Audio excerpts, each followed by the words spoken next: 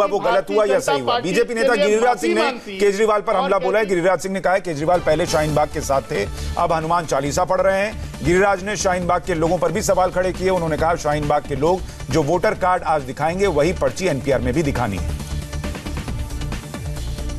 बातचीत करने के लिए मौजूद हैं केंद्रीय मंत्री गिरिराज सिंह। सर आज दिल्ली चुनाव में वोटिंग हो रहा है। लगातार आप लोग कैंपेन करते रहे। दिल्ली के मतदाताओं से क्या उम्मीद रहेगी आज? देखिए, मुझे पूरा विश्वास है कि दिल्ली का मतदाता ये केजरीवाल जी के तथाकथित दोहरे चेहरे, दोहरे चरित्र और साढ़े पाँच साल, पौने छह साल तक जितने वादे किए थे, उस वादे को नहीं लागू करना, चाहे बिजली, पानी अभी तीन महीना से, चाहे वाईफाई नदारत कुछ जगहों पे, स्कूल कुछ स्कूलों को स्कूल नदारत मोहल्ला क्लिनिक का बड़ा प्रचार किए। तो सब मिलाकर के दिल्ली का मतदाता अब भारतीय जनता पार्टी के साथ खड़ा दिखा। शाहीन बाग कितना बड़ा मुद्दा हो सकता है इस चुनाव में? लगातार पिछले कुछ दिनों से चर्चा के केंद्र में रहा अब देखिए ये तो केजरीवाल साहब बेहतर बताएँगे। अभी केजरीवाल साहब हनुमान चालीसा पढ़ रहे हैं। कभी केजरीवाल साहब हनुमान को राक्षस भी बता दिया।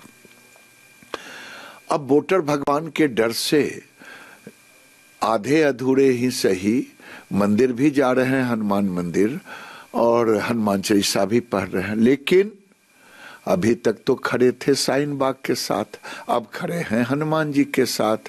तय करें, देश की जनता देखना चाहती है कौन साइन बाग के साथ खड़ा है, कौन भारत के साथ खड़ा है। ये साइन बाग के साथ खड़े हैं जो कहता है देश को इस्लामिक स्टेट बनाएँगे। मतदाताओं की अगर खूब लंबी कतारें अगर लगातार दिखें, वो आप लोग ज़्यादा संतोष आपको होगा या वोटिंग को लेकर मतलब क्या कुछ चल रहा है? देखिए, मेरा तो मानना है कि अब वोटिंग बहुत अच्छा चल रहा है, लेकिन सायन वाघ, जो अब तक प्रधानमंत्री ने कहा, गृह मंत्री ने कहा, पूरे देश ने कहा कि सीएए नागरिकता कानून नागरिकता देने का है, लेने का नहीं। लेकिन आज वोट वोटिंग देने जाएँगे साइन बाग वाले, बढ़ चढ़ के जा रहे हैं उनके समर्थक और वो। तो अब दिखाएँगे कार्ड की नहीं दिखाएँगे। आखिर कहेंगे, मैं लाइन में खड़ा रहूँगा, मुझे वोट देना, देने के लिए मंजूर करना पड़ेगा, देना पड़ेगा।